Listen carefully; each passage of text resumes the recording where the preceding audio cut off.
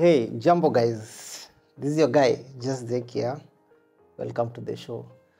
So, uh, sijui nianzie wapi. So I don't know where to start. But either way I have to tell it, so it happened. So niko na ka story leo guys. I just want to share a short story with you guys. Na ili to hapenia, ina happen every day and it's very disappointing because we are really disappointed on Kenyans. Wale wenye wako Gulf ama wako Doha, even wenye wako mtaani as securities. Mi ni security kwa mall and we have so many securities kwa mall hapa wa Kenya, wanafanya kwa supermarket, wanasema pale kwa mlango, wana control traffic. Basically kazi yao si kuangalia nani anaiba, especially in Qatar. Si kazi ya security si kuangalia nani anaiba, ni control tu traffic, watu kumisbehave hapo kwa entrance, you know, least flow ya watu ikue easy, you know. That's why they, they have securities on the entrance na exit. Ndio mtu kusaidia watu kupanda kwa hizo stair, staircases and then kwa escalators. Like basically ni kusaidia tu. But now mimi kama security wa mall ama security wa supermarket I'm very disappointed on Kenyans so I'll just share a short story yenye ilihappen na hii story ya jaba na Kenyans manzi wenye mko na hiyo tabia muache, wenye mko na hii tabia manzi muache, si poa. Someone, some people will lose a job because of this behavior and ignorance. So this is what happened, okay? Mi niko pale kwa gate, niko kwa mlango ya security, niko kwa post, kwa post yangu kwa gate, kwa mall. Some Kenyans waka approach vijana kama wanne tu hivi, wamedress smart but kuongeaongea Kiswahili yao ni ya coast coast. Kanigotea ni aje brother, fiti sana, niko poa. E, kazi iko aje? Iko poa. E, si tuko hapa, karibu. Kawakaribisha jamaa wakaingia shopping, so as the way they came in walikuwa normal customer. Mimi siwajui, sijai waona, waliona my wristband and then tukaanza Kiswahili kidogo then wakaingia kwa mall. Hata ikufikisha dakika moja, less than one minute, okay? So si wameingia wameingia wamepiga shopping zao. So within that period wakiwa shopping, uh, ilikuwa ina approach my break time. Okay? So mi nikaenda nika punch out for my break. Course niende pale ni take my one hour break, lunch break, ni relax, nitulie and then nirudi because we have we having a very long day. Especially security tuko na siku mrefu sana. We do work for 12 hours. So umechukua wanawa yako break urelax. So during my break I received a call kwa radio call. Just Zeki, just Zeki come in. Roger, Roger. uh, you see the call I received from my manager. Ananipigia simu, ananiambia niaje? Zeki, we have some friend of yours wako hapa kwa ofisi. And this manager si Mkenya, ni mu, mu, how do you call one? Egyptian. My manager ni mu Egyptian. But you know mostly managers Qatar, security managers kwa Egyptian, wa Sudani, yeah, mostly and then kushuka hizo level zingine supervisors and in charge unapata ni wa Kenya, wa Nepali, wa Bangali. So akanipigia simu akaniambia Zeki, some of your friends wako hapa kwa ofisi. Ah, friends wa gani? Eh, there's some some friends hapa wameshikwa wakishoplift. What? Mimi sina best wote, hakuna best yangu am expecting ama hakuna as in ikakuwa nikaa nime of course unashtuka ati mabeshte wako wameshoplift kwa ofisi. Ah, it's impossible. Cause okay, you don't expect. So nikamaliza break yangu haraka haraka cause I was nilikuwa tu nimeshtuka niende nione ni akina nani hao. Kufika pale kwa ofisi, guess what? Pata those four guys wa Kenya ndio alikuwa ameshoplift Imagine. Na wakiingia walinisalimia vizuri, ni aje bro, fiti sana. Hey, poa, wakaingia. So imagine these guys walienda kwa shelf wakashoplift and guess what did, did, uh, they shoplifted? Mambling bling, machain, men's accessories, watch, macheni za shingo like hizi accessories hata sio riji, sio gold na sio silver, sio mambling oriji. So these guys wanaenda kwa shop, kwa shop kwa mall wana shoplift hizi accessories. They forget these accessories zinakuwa na magnet. Okay? The other thing let me warn you guys.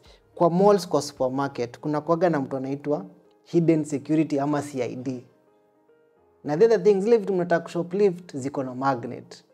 So jamaa wameshoplift hata wajui magnet zinafaa kutolewa sijui walitoka ushago gani sijui walitolewa kwa kijiji gani. Hawajui that those, those items they have been labeled with magnetic or alarms something like that. So jamaa ndio wale wanaenda wakashikwa. Kapelekwa kwa security office. Wameshoplift. Just zeki these are your friends. Wameshoplift anu watu wa kwenu. So how can you convince your manager? Hawa sisi wa kwenu. Ama si auwajui definitely mnaongea lugha moja mmevaa the same wristbands. Wamekusalimia mmeongea like a minute. And then unasema wajui.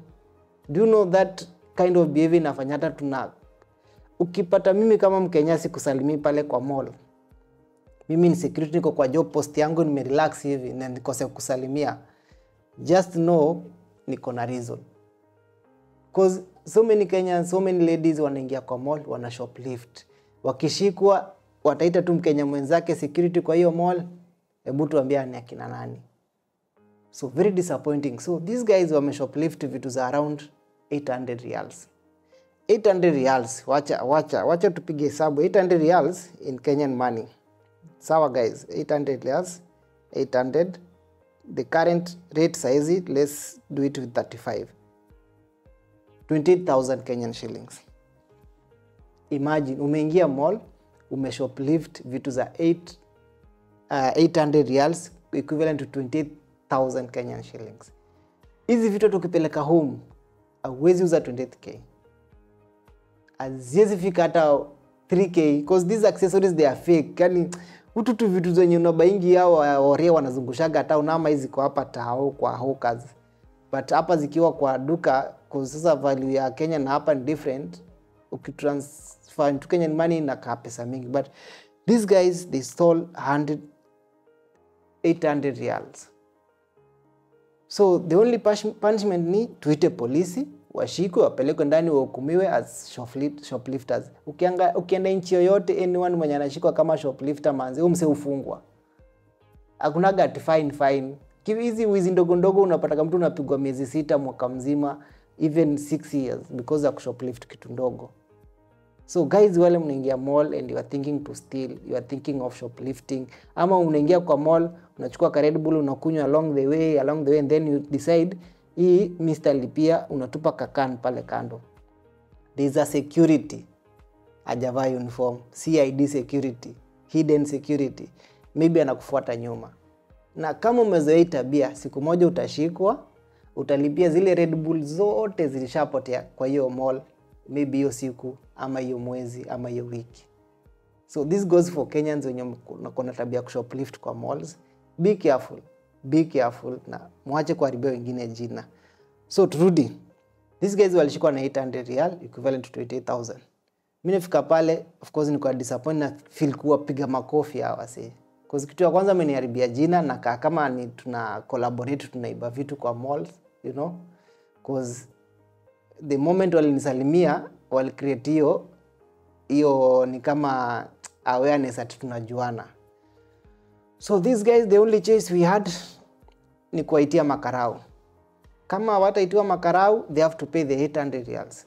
Imagine just imagine these guys walikuwa nayo 800 real 800 real. Wote watu wanne walichanga hapo walikuwa na 800 real. Sio 800 real manzi si wangeenda wanue hata KFC wakule ama kila mtu angejunulia silver origi aende tu kwa shop ya silver ajibai origi moja moja ingetosha. That's a lot of money 800 real bro. Mnaingia kwa mall mna shoplift. Wengine mna shoplift dates. Mnaenda una shoplift dates unakula dates kwa mall unakula mpaka unachota zingine unaweka kwa mfuko. Shepata mkenya jamaa anaingiaga tu anaenda pale kwa kwa vegetables anakula dates anakula dates zingine mpaka anaweka kwa mfuko namshika tukamwambia fanya hivi bro. Sisi hata tukupeleki mahali si tunakujua? We tu at least we ni mtu tunaonanga hapa around. Fanya hivi. Zile umeweka kwa mfuko just bring them tuweke pale kwa weigh scale na tutengeneze equivalent kg ya zenye umekula uende ulipe tumalizane hivyo na hivyo. Cause pia sisi manze tunafanyia waarabu job. Tunafanyia wahindi job. So imagine napoteza job jua mtu mwenye ni selfish anakuja kuiba kwa mall. Na mimi ni msamee kama mkenya. This is a scenario whereby mkenya alishika mkenya mwenzake ame shoplift si yeye alimshika. Huyo hidden cid alimshika akampelekea mkenya akamwambia ni aje bro? Huyu jamaa ameiba na mimi kama security hidden security sifai kujulikana we shika prosecute huyu jamaa take action. So along the way juu mi mkenya nafaa kumpeleka ofisi tukaenda tukaongea tukaongea akanifinyia kidogo nikamwachilia akaenda. Imagine unavutwa job? That thing happened to a friend i know na ako mtaani because alifinyiwa. Wakenyana tabia ya kufinyiwa ati oh, haina shida we shika 50 we niachilie. Jamaa alifinyiwa na ako home saizi. Sijui sahii anafinya maovakado huko kwa, kwa mtaa ama anagongeana kama mayai. Anyway guys wale wakenya mko na tabia ya kushoplift please stop. Stop kama una shoplift enda ushoplift na huko pale security ni waindi bana msiharibia wakenya wenzenu mkazi. Ukiona mkenya kusalimi pale grand mall ukiona mkenya kusalimi pale kwa mall na ni security na of course unaona ni mkenya juu ashaitendwa.